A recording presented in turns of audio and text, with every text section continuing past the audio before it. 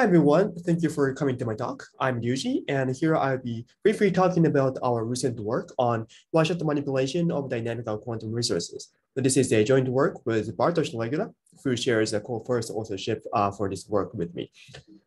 So uh, this talk is about the general resource theories. The resource theories are the general framework to deal with the quantification and manipulation of physical quantities that are considered precious under given settings. So these include uh, these three major concepts like such as free objects or free operations and resource quantifiers. So basically we are interested in how to quantify uh, the amount of resources and how to discuss the manipulation uh, only given only using the given uh, free resources such as, such as free operations and free objects.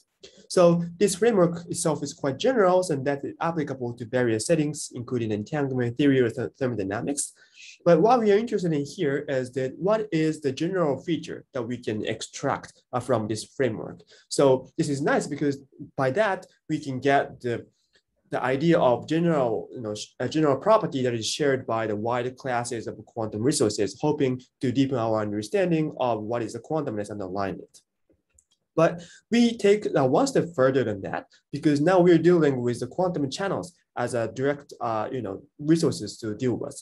Because as you know, Mark Wilde pointed out in his tweet that everything is quantum channel, including the quantum state, measurement, unitary evolution, and of course quantum channel. Everything is quantum channel. So which means that if we get the general results that are applicable to general quantum channels, then that automatically encompasses those subclasses, including the state transformation and so forth. That is why we are interested in the general results applicable to quantum channels. But this perspective also gives us interesting insights because uh, not only the you know useful uh, usual quantum channels that map quantum states to quantum states, but in many situations, uh, many situations involve the dynamical quantum resources characterized by the quantum channels with some certain structures, such as Bell non-locality or contextuality or measurement incompatibilities. These have these channels have some certain structures. So we hope to give some general framework uh, that can also encompass those situations as well. So what this is what we do uh, in its work. So we introduce such a general framework uh, for given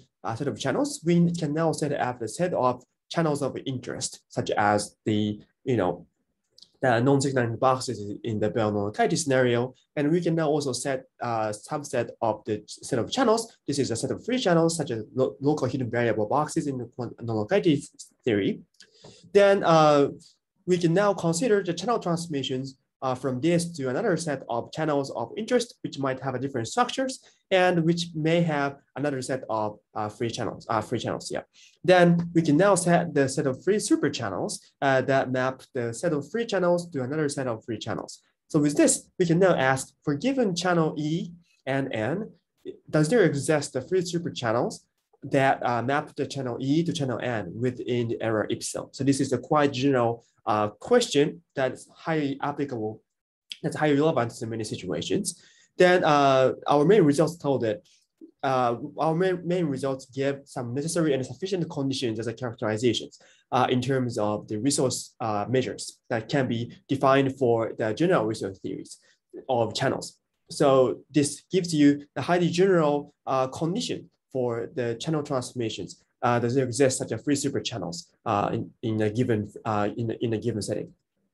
So I'm not giving you the exact details of the technicalities, but uh, we can apply that to the many situations, such as quantum communications. So in quantum communications, these two figures of merit, one-shot capacity and one-shot estimation cost are pretty important ones. Then, but these were all these were encompass these can be um, encompassed by the distillation problem and dilution problems. So with this, we can apply our results to get the exact characterization of these figures of merit for several coding schemes, such as separability preserving codes or non-signaling assisted codes. Or we can also apply that to the locality uh, by properly setting the set of channels of interest and a set of free channels and also free super channels like this. And now we can give the operational application of these uh, measures that were previously introduced in the setting, but, but um, haven't given so much operational interpretation in terms of the box transformations, resource transformations. So we, our general results can give uh, such a, an understanding to these measures as well. So in summary, we introduced this general framework and also discussed the characterization of such a channel transformations. And this is the, the you know, results uh, that is detailed in our manuscript. And we can apply that to many situations, including communication, non-locality, contextuality, and measurement incompatibility here.